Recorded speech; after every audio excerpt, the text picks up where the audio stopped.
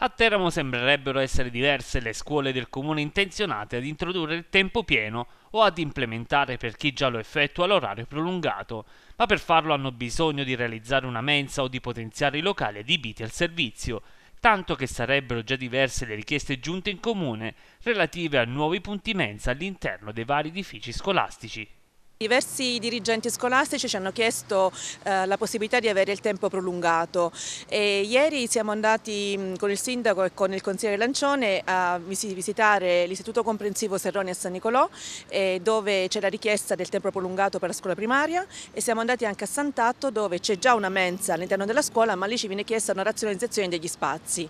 Un tempo prolungato per, eh, ci sono diverse esigenze che le scuole hanno. Sì, ci sono esigenze diverse, chi vuole introdurre la settimana corta, chi vuole eh, potenziare l'offerta formativa e noi cercheremo di accontentare il più possibile i dirigenti scolastiche ma stante una razionalizzazione del servizio. Perché io qualche mese fa ho fatto un confronto con eh, dei, delle, delle, città limitrofe come per esempio Ascoli Piceno e lì c'è da dire che esistono solo quattro punti cottura, a Teramo ce ne sono una ventina, quindi questo tipo di servizio organizzato in questa maniera purtroppo oggi non si regge più, eh, volendo mantenere un servizio di qualità e possibilmente migliorare la qualità del servizio stesso. Quindi dovremo procedere a una razionalizzazione e un ripensamento complessivo in vista del nuovo bando per il servizio della mensa scolastica. Una riorganizzazione che prenderà il via con ogni probabilità il prossimo anno. Eh sì, l'appalto in essere scade a, a, giugno, per cui ho già predisposto delle linee di indirizzo eh, introducendo il chilometro zero, eh, potenziando il, il, biologico,